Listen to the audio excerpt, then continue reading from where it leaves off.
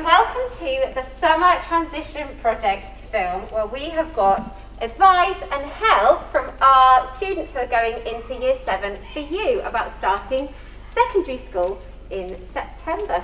So follow me.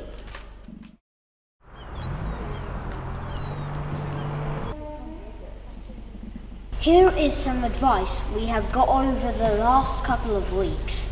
Your advice for year 7 is advice for year 7 is staying out of drama, focus on learning and don't focus on having a big friend group. My advice for year 7 is in primary school, teachers sometimes say secondary school will be a lot harder and challenging than it actually is. But if you do need help or have a question, you can ask a teacher. a really helpful tool you can use is A helpful tool you can use is not all strategies work for everyone, but finding things that distract you can help. If that doesn't work, you can talk to someone.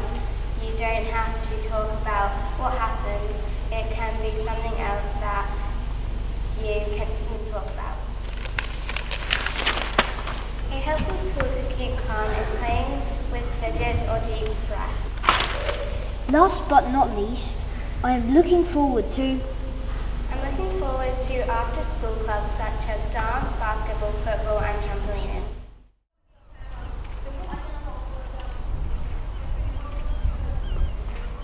So, what is your advice for New Year 7 students? Don't worry too much because it'll all be okay. What tool do you think could be helpful when you start secondary school? If you're worried, do a breathing exercise. What are you looking forward to most at secondary school? Making new friends and getting better at maths.